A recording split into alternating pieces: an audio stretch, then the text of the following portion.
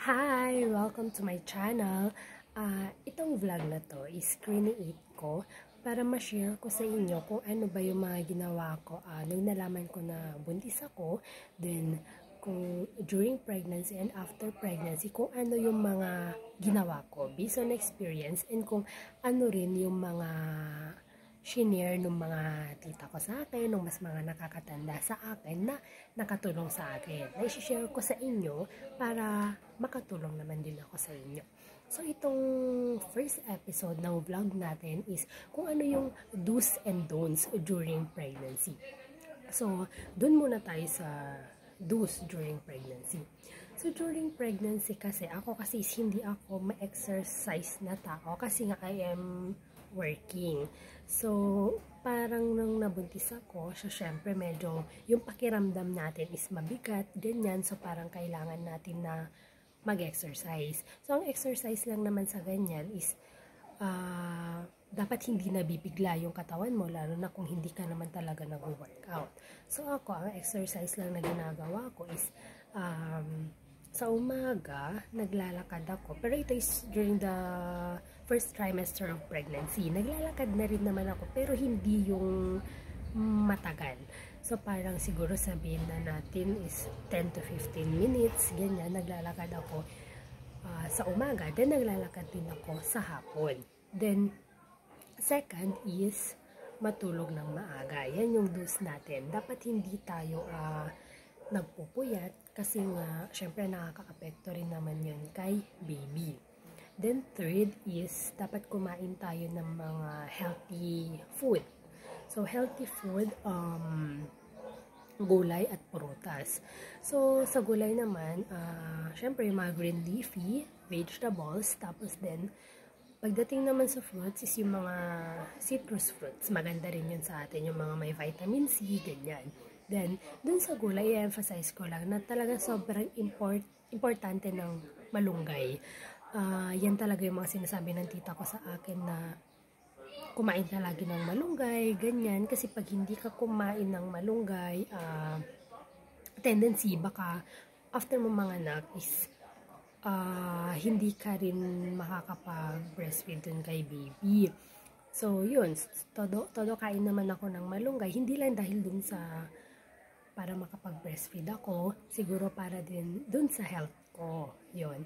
So, yun yung mga do's natin during uh, during pregnancy. Then, dun naman tayo sa mga don'ts, sa mga bawal.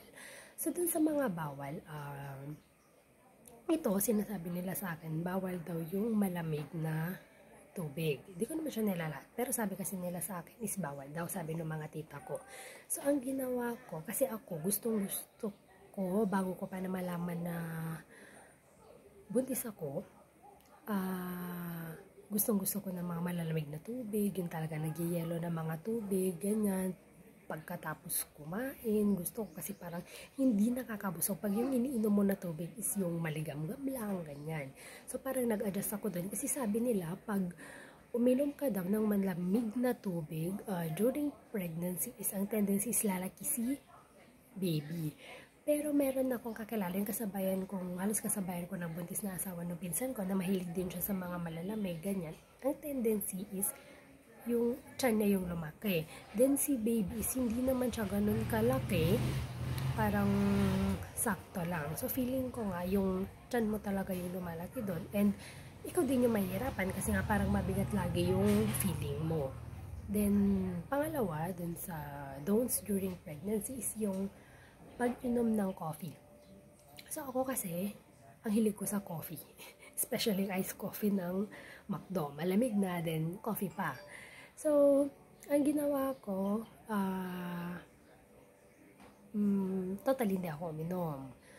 Kasi nga sabi nila during the first trimester ng pregnancy, parang medyo nagkakos siya ng uh, miscarriage. Ganyan.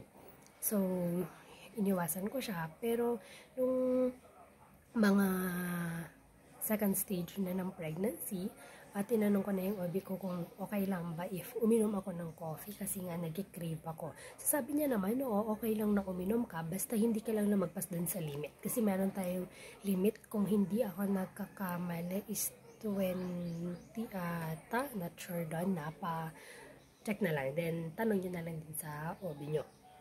Then, pangatlo, dun sa mga don'ts is yung sa movements.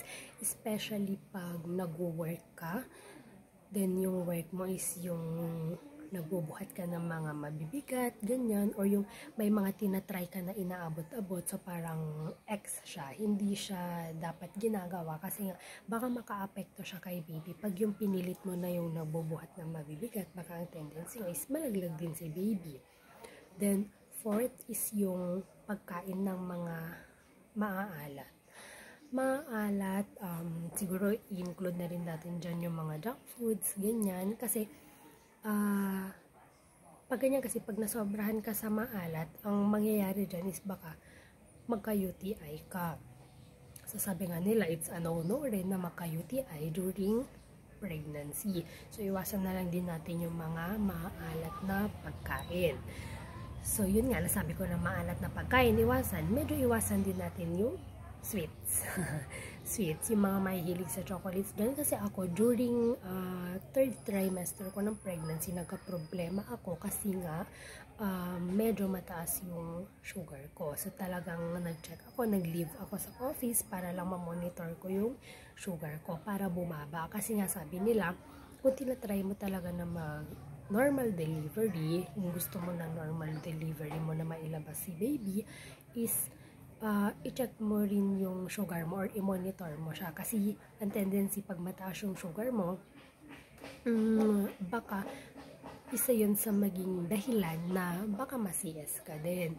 So ako no, na-monitor ko naman siya. Uh, ang ginawa ko nun is medyo binawasan ko yung intake ko ng rice, ganyan. Tapos umiwas ako sa, kasi medyo nakahiligan kong kumain ng chocolates noon kasi parang siguro yung cravings, ganyan, nandyan, hindi ko naiwasan, hindi ko siya na-control.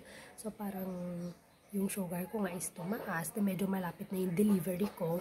So, ang ginawa ko is, um, kinontrol ko yung sarili ko, syempre para na din sa akin para kay baby, para healthy kaming dalawa. So, yun, dito na muna nagtatapos yung first episode natin ng do's and don'ts ng during pregnant, pregnancy. So, sa next episode, siguro ang may share ko sa inyo is kung ano yung mga ginawa ko kung bakit naging normal delivery ako. Normal ko na i-deliver si baby. Uh, see you next time. Bye-bye!